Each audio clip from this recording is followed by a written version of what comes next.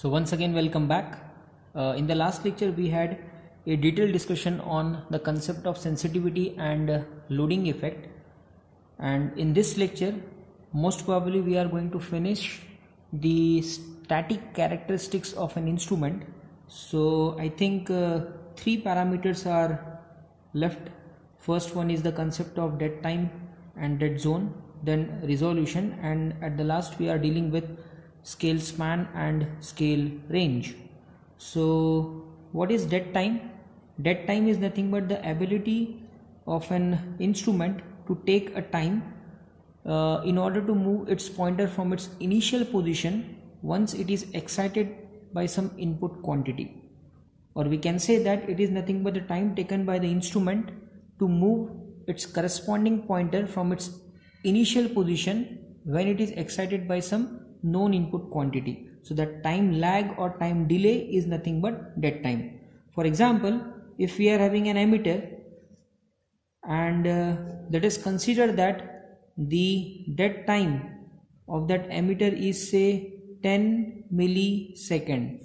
So this 10 millisecond indicate a time lag or a time delay in that particular span even though this ammeter is provided some input quantity. The pointer of this ammeter will not move from its initial position. So i can say that uh, this ammeter will take 10 millisecond of time in order to move its pointer from its initial position even though it is excited by some input quantity. So this time lag or time delay is nothing but dead time. Now what is the concept of dead zone?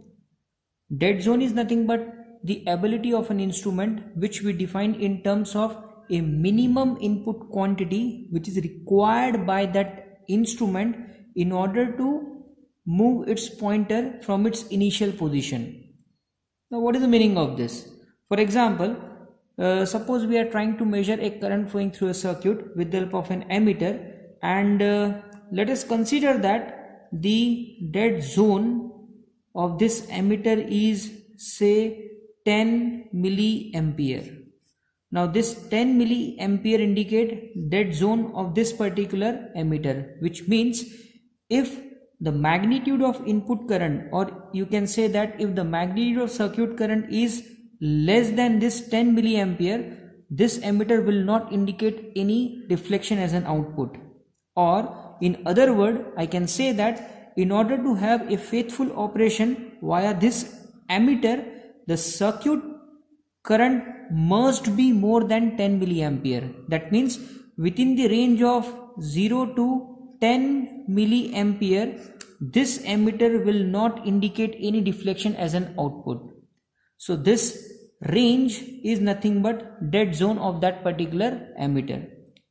Or graphically we can define this particular concept via the relation between output input curve on y-axis suppose I have taken the output of the instrument and on x-axis I have taken the input to that particular instrument. And normally in the last lecture I told you that if you consider any electrical instrument the input is current and the output is either force or you can say deflection indicated by symbol theta. So in this particular case as the dead zone of this ammeter is 10 milliampere that means when the magnitude of input current is 10 milliampere so in this particular span there will be no deflection generated by that particular ammeter. And once the magnitude of circuit current is more than 10 milliampere then there will be a deflection produced by that ammeter. So this is what a graphical technique to define the phenomena of dead zone. So this band is nothing but what? Dead zone. That means if the circuit current is in the range of say 0 to 10 milliampere it may be anything. It may be say 9 milliampere or it may be say 5 milliampere. In that particular case this ammeter will not indicate any output or this ammeter will not indicate any response.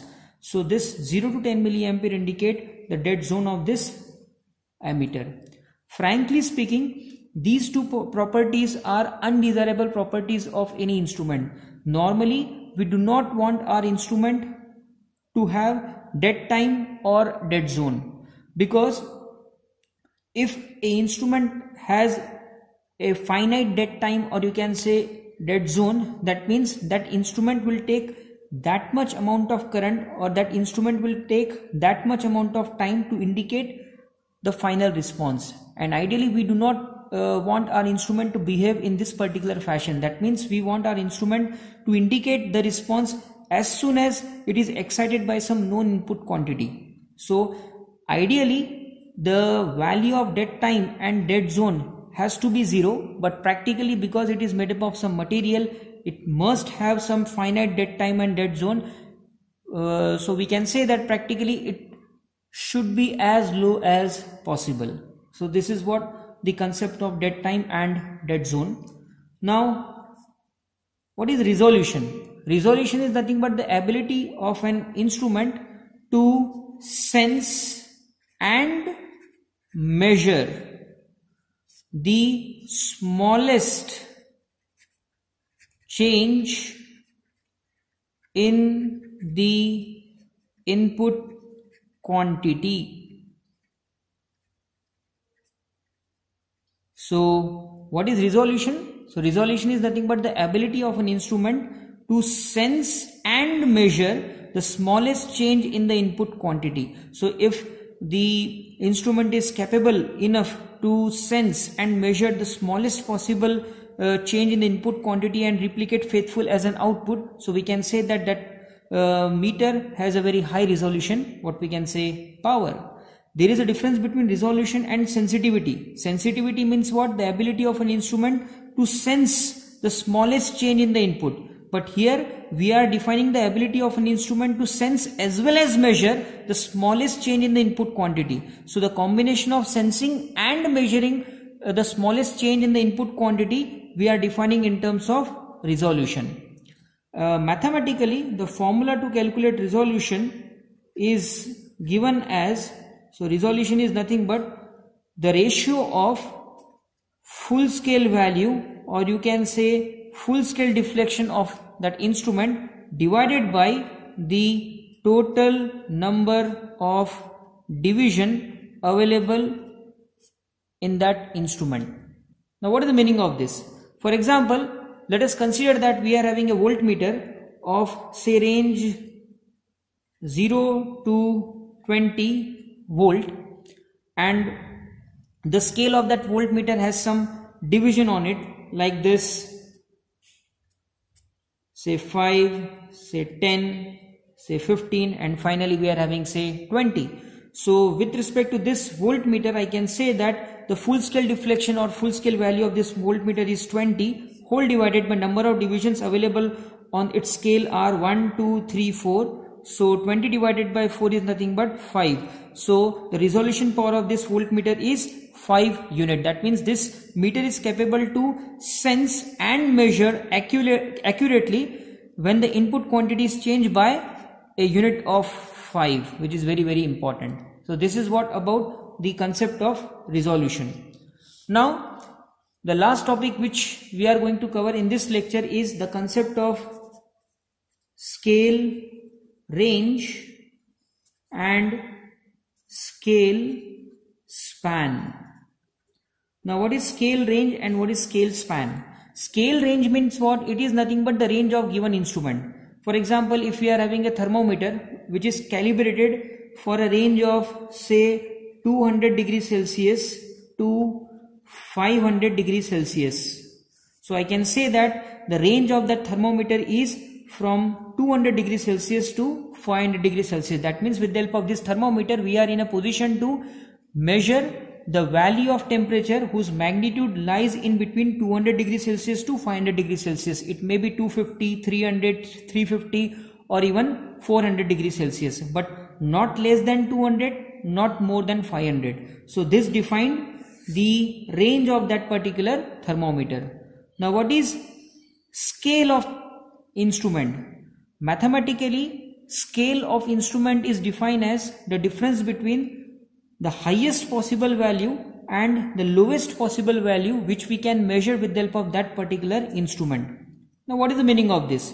In this particular case where we have considered a thermometer which is calibrated for a scale range of 200 degrees Celsius to 500 degrees Celsius. So the highest possible value which we can measure with the help of this thermometer is 500 degrees Celsius and the lowest possible value which we can measure with the help of this thermometer is 200 degree Celsius. So in this case I can write here scale span is nothing but the difference between highest possible value and the lowest possible value.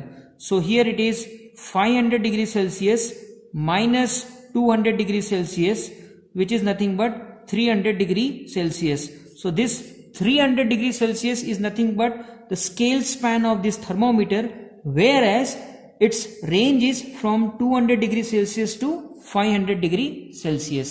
So this is what the concept of scale range and scale span. So in the next lecture, we will uh, discuss in detail about the classification of error and their analysis. Thank you.